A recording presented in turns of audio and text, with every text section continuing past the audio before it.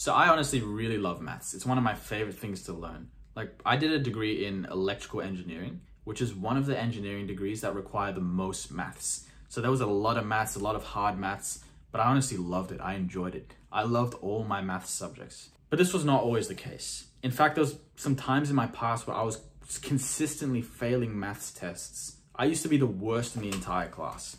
So what happened was when I was about 10, 11 years old, I think, you know, we were doing maths in class and my teachers, my parents would constantly tell me that I was naturally gifted at maths, that I was good at maths.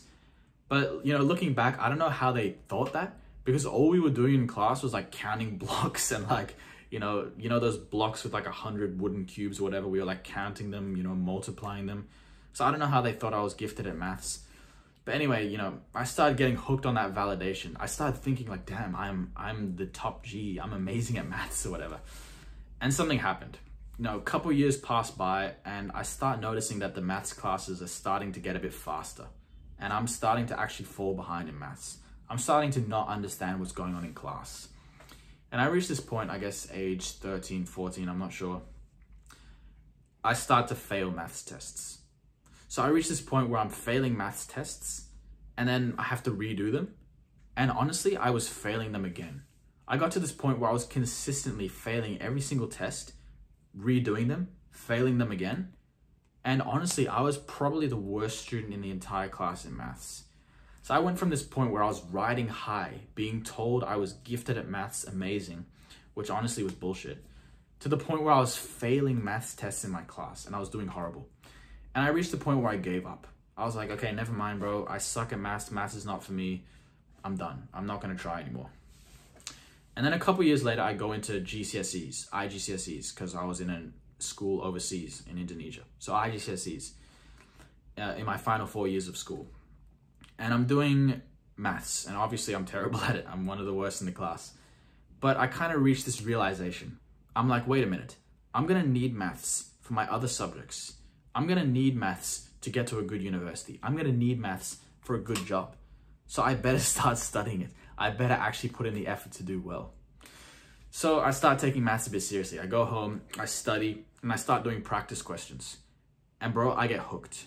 I start doing some practice questions and I start noticing I'm getting them right. And then I start to realize something. I start to realize, wait a minute, I can do maths. I can get good at maths. Maths is something I can learn. Then a couple months later, we have an exam. And I end up doing the best in the entire class. So I go from literally failing every single test in maths to doing the best in the entire class. And, you know, I end up finishing IGCSEs with an A star. I end up doing pretty well. And then after that, I get the option to do, in my final two years, to do what's called the IB program, the International Baccalaureate Program. And there's this class called High Level Maths, which is notoriously known as the hardest subject in the entire in the entire diploma. And I do it. And I end up doing pretty well. I get like a six out of seven, which is, you know, not the best mark, but pretty good. But what I'm trying to tell you here is you can be someone who sucks at maths. You can be someone who's terrible at maths. Like I know I told you that my teachers told me I was gifted, but apparently this is a very common thing that teachers just tell people just to hype them up. You know, I'm definitely not gifted at maths. If anything, I'm average but I just cultivated and learned my ability to not only get decent at maths, but to actually fall in love with it. Because maths is, is not only is it useful in the real world, people will tell you it's not useful, but it is, especially like statistics and probability and stuff. But also maths is just this beautiful abstract world that you can learn all about. It's like a whole nother universe, you know, like learning about the Star Wars universe or something. Maths is like this abstract, beautiful world that you can learn about. So in this video, I'm going to tell you how to start getting decent at maths and how to cultivate your love for it because I think everyone can cultivate their love for it because here's the thing. You might think you suck at maths. You might think you're bad at it. You might think you don't have the maths gene. And look, genetics don't matter at all.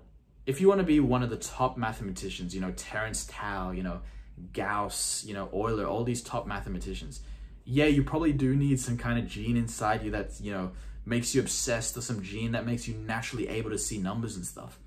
But if you're just trying to do well in like high school maths or university level maths, you don't need to be amazing.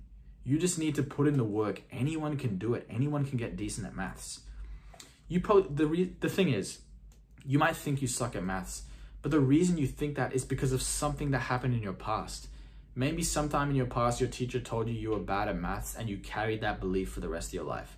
Or maybe when you were young, you like me, you started failing maths tests and it created this negative feedback loop that made you constantly suck at maths and constantly fail tests or something. Because every child is born with a natural curiosity towards maths.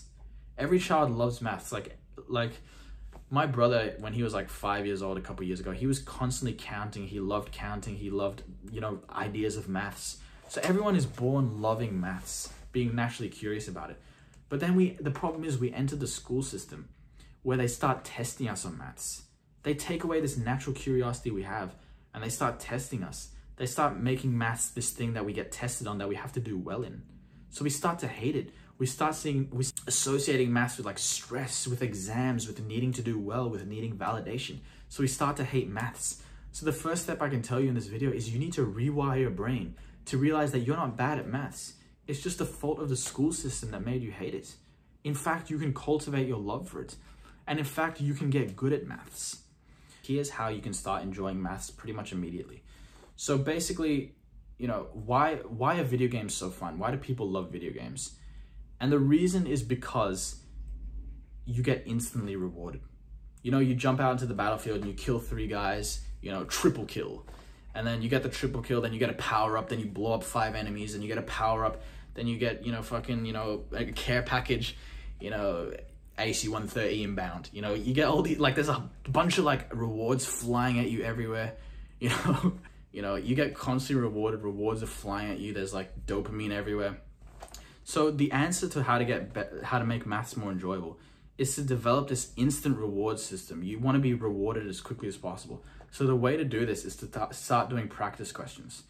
As early as possible, you want to start doing like exam questions and practice questions to start getting decent at maths. I mean, to start enjoying maths. Because if you get a practice question correct, you get like a hit of dopamine and it makes you want to do more questions. And the more questions you do, the more you develop this like positive feedback loop that makes you enjoy it more and more and more. Like for me, my favorite time of the semester was always exam season because I could spam exam papers. Like I really enjoyed doing maths past papers because it was like solving problems. Every time I got it correct, it was so rewarding. It was like getting a triple kill in a video game every time I got a question correct. So that's the next step I can tell you to start instantly enjoying maths. Jump into practice questions as soon as possible. You don't even need to finish an entire topic before you can start doing practice questions. Because the problem is students try to study their whole curriculum before they start jumping into practice questions. Instead, you should do it the other way around. You should start doing practice questions as soon as possible, not only because it helps you solidify what you've learned, but you start developing that, developing that positive feedback loop that actually makes you start enjoying maths right away because you're developing this instant reward system. And then when you do practice questions, you actually start realizing maths is actually fun. It's not this like, oh, my brain hurty type of thing where you're like crunching numbers and stuff. It's actually like problem solving. It's like doing trivia. It's like answering fun questions. Maths is actually fun when you do practice questions. So that's that's what you need to do. You need to jump into practice questions. So the first step to actually start to love maths is you need to start getting good at it. I know this sounds obvious, but maths is 100% just about practice. Putting in the practice, doing practice questions, learning maths, repetitions, repetitions. Imagine you're good at maths. Imagine you were confident and actually pretty decent at maths. The love for it would naturally follow. So people are trying to find love for something and taking. So instead of trying to fall in love with maths and then getting good at it, why not get good at maths? Then you will fall in love with it. I know this sounds weird, but you know, if you do something uncomfortable over and over and over again, eventually you realize it wasn't as bad as you thought. So first develop the confidence and then the love will follow. Like for example, recently I've been learning uh, salsa dancing. My friend has been teaching me. So basically when I first started doing like salsa dancing, Latin dancing, I hated it. I was like, damn, this is so hard, this is so boring, I don't like this. But after doing it for a couple of months, I started getting okay at it. I started getting the hang of it. And I started actually enjoying it a lot because I started building the confidence in it. So same thing with maths. If you build the confidence in it, the love will naturally follow. And the final thing I'll mention here about to actually how to start to enjoy and fall in love with maths. You need to start seeing yourself as someone who is naturally curious at maths Start seeing yourself as like a mathematician, someone who has a genuine curiosity for maths. So the first tip I told you was to destroy your limiting beliefs when it comes to maths and believing that you can actually do it. Now this step is actually about cultivating your love for it and seeing the beauty in mathematics. So personally how I do this is like I said, do practice questions, just take your time with maths, actually, you know, spend some time with it, understand the concepts from the bottom up.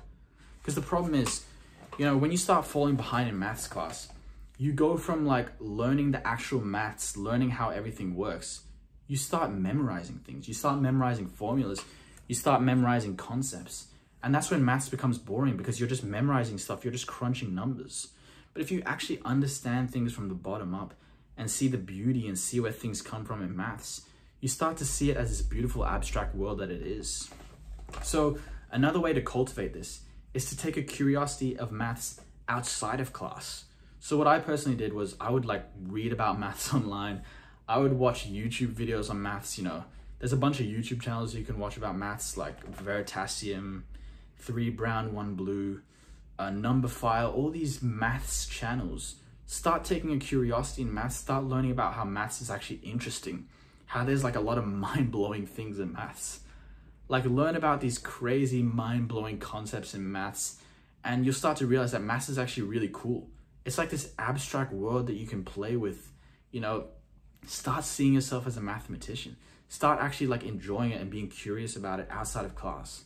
I'm not saying you have to go like read the hardest maths papers or whatever, but just kind of learn generally what's going on in maths. Start learning about some interesting maths theories, follow your natural curiosities. And like when you're learning stuff in class, take those concepts and search them up onto YouTube and see other perspectives on the same concept. Learn through YouTube, you know, use YouTube, use the internet to learn about maths. So a big part of it is stop seeing maths through this anxious kind of like negative mindset and start seeing it from positive things. Start seeing it as enjoyable. Start seeing it as not difficult. Start seeing it as not painful to your brain. so you need to rewire your brain. You need to spend the time doing maths. You need to practice and just learn to enjoy it. It's that simple. And you, I promise you, you will start to enjoy maths and you will actually start to get good at it. And when you start getting good at something, like I said earlier, you start to love it. So bro, go do some maths. See you later.